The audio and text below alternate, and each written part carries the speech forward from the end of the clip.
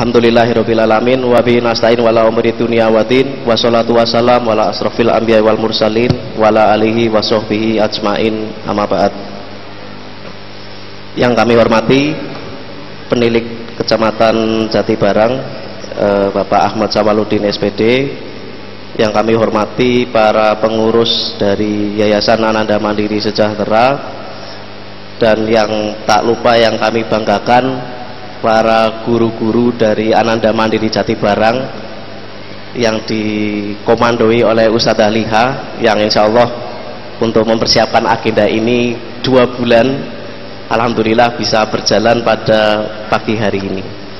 Kemudian yang kami hormati dan yang kami muliakan para wali santri TK Ananda Mandiri Jati Barang.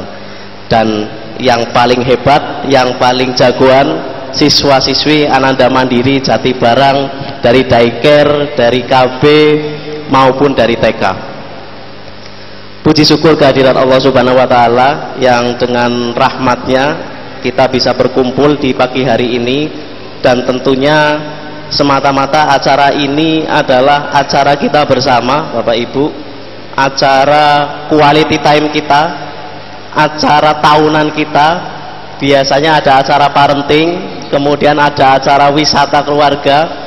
Kali ini acara quality time kita adalah acara pelepasan siswa dan kegiatan pentas seni. Adapun kegiatan pada pagi hari ini kita mengambil tema kebanggaan ya. Buah hati kita adalah kebanggaan dan insya Allah akan menjadi bintang yang bersinar. Tentunya dengan tampilan-tampilan tadi yang di awal insya Allah bisa memberikan warna walaupun kalau Bapak Ibu melihat nadanya ada yang kurang kemudian sesuatunya ada yang berbeda tapi itulah di situ uniknya. Mereka bisa berharmonisasi bisa berkumpul ada di atas panggung ini yang kita biasanya sampaikan berulang kali ini butuh mental ini butuh kemandirian ya. Makanya sesuai dengan nama sekolah kami Ananda Mandiri harapannya anak-anak ini bisa mandiri anak-anak ini tidak ditunggui orang tuanya. Bahkan pada saat ada di ruang tunggu yang ada di belakang anak-anak ini bisa secara mandiri untuk mempersiapkan. Ayah dan ibu cukup duduk manis saja di depan. Ya. Dan ini juga sekaligus acara pelepasan Bapak Ibu pelepasan untuk Ananda TKB ya. Jadi kami berpesan selaku yayasan atau selaku pengurus dari TK Ananda Mandiri kami berpesan program yang tadi sudah disampaikan oleh Ustadz Aliha tetap dijalankan di rumah. Program belajar dengan orang tua program berkomunikasi dengan orang tua program sholat misalkan berjamaah dengan orang tua yang sudah diajarkan di sekolah. Ini kami mewanti-wanti khusus untuk yang mau dilepas karena nanti ketika sudah masuk di SD ruang lingkupnya lebih luas. Anak-anak ini akan berhubungan dengan anak-anak yang jauh dari e, komunitas yang ada ya. Komunitas dari daerah lain komunitas dari sekolah yang lain semuanya membaur menjadi satu ya. Dan anak-anak dari daycare maupun KB yang nanti mungkin akan kita lihat aksinya di atas panggung ini semata-mata adalah untuk bagaimana kita mengapresiasi anak-anak kita. Makanya di Ananda Mandiri kita memberikan tahapan tiga aspek Bapak Ibu aspek yang pertama adalah aspek kognitif. Jadi aspek di mana anak ini melakukan segala sesuatu dengan meniru ya. Dengan menghafal dengan melihat ya. Makanya kalau ada anak yang belajar dengan cara kognitif semua cara belajarnya biasanya menghafalnya lebih cepat. Anak-anak tadi yang belajar menghafal di depan ini secara tidak langsung kognitifnya sudah terasah sejak dini Kemudian yang kedua, aspek yang kita lakukan adalah aspek afektif. Aspek ini berhubungan dengan bagaimana anak ini bisa berempati. Berempati dengan sesamanya.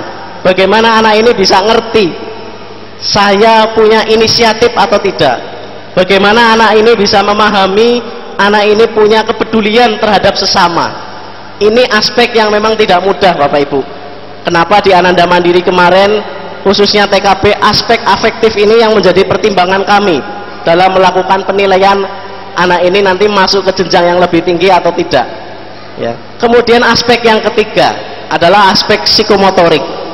Jadi aspek psikomotorik ini adalah aspek pembiasaan yang sudah dilakukan kalau bahasa sederhananya adalah soft skill ataupun hard skill. Kegiatan-kegiatan yang dilakukan harian di sekolah, mewarnai, berlari, berolahraga, sholat berjamaah, itu adalah kegiatan-kegiatan yang sifatnya e, kegiatan fisik, ya. Makanya kita namakan psikomotorik.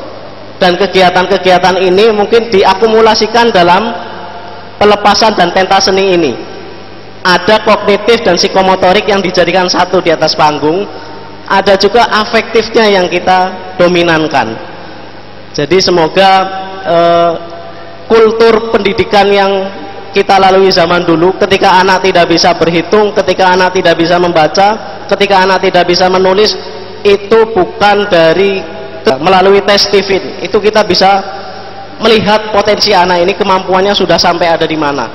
Bakat eh, otaknya ada di bagian mana? Di bagian kiri atau di bagian kanan? Itu yang semoga Bapak Ibu bisa memahami bersama kebanggaan kita tidak harus sama. Kebanggaan anak-anak kita semuanya punya perbedaan ya. Dan afektif ini juga yang nanti paling penting. Karena banyak sekali bahkan di usia yang sudah dewasa pun ada senggolan sedikit ribut ada senggolan sedikit bermasalah. Afektif ini yang mungkin menjadi kunci justru di pendidikan anak usia dini menghargai orang lain memahami perasaan orang lain bertutur kata dengan baik. Itu yang semoga aspek ini yang mungkin tidak boleh dianggap sebelah mata. Kalau biasanya yang dilihat adalah aspek kognitifnya. Anak saya sudah sudah sampai segini loh yang lain belum sampai. Tapi justru dengan berbangga seperti itu dengan mengurangi aspek afektif maupun psikomotorik maka ini akan juga menjadi kekurangan nanti di masa yang akan datang. Kemudian terkait dengan program yang tadi sudah disampaikan Ustadz Alika ini juga membutuhkan e, sinergitas antara sekolah dengan pihak e, orang tua. Jadi ketika ada program yang berhubungan dengan sekolah memang sekolah memberikan program. Tapi sebenarnya follow up yang dilakukan oleh orang tua ini nilainya lebih besar. Follow up yang diulang-ulang dilakukan di rumah oleh ayah maupun bundanya ini justru nilai yang paling besar. Ya ketika anak belajar di sekolah pulangnya ditanyakan tadi belajar apa? Ataupun kegiatan-kegiatan yang memang waktu bertemunya sangat sedikit. Kami sangat memahami. Bapak Ibu dari pagi ataupun sampai siang sampai sore ketemu dengan anak. Tapi sekali lagi waktu bukan sebagai penentu kualitas ya. Waktu yang sedikit justru ada yang punya kualitas dibandingkan dengan waktu yang banyak tapi tidak punya kualitas ada waktu seharian orang tua di rumah tapi memegang gadget tidak berhubungan dengan anak. Itu yang dimaksudkan punya waktu banyak tapi kualitasnya sedikit. Ada waktu yang sangat sedikit ketemu dengan anak di jam-jam tertentu sore sampai isak misalkan. Tapi ketika bertemu ini mengungkapkan berbagai macam hal. Ini yang kita maksud dengan waktu yang sedikit menghasilkan kualitas yang luar biasa dan ini akan diingat-ingat oleh anak ketika anak berinteraksi dengan orang tua jadi semoga ini bisa menjadi pengingat kita bersama bahwa pendidikan usia dini adalah kewajiban kita bersama kewajiban sekolah, kewajiban lingkungan wabil khusus kewajiban dari orang tua. Dalam menyekolahkan anak-anaknya ataupun dalam membimbing anaknya untuk menjadi lebih baik lagi. Dan pada pertemuan kali ini eh, kami juga meminta maaf apabila dalam persiapan kemudian kegiatan-kegiatan ini mungkin dirasa masih cukup atau kurang berkenan dari para wali santri.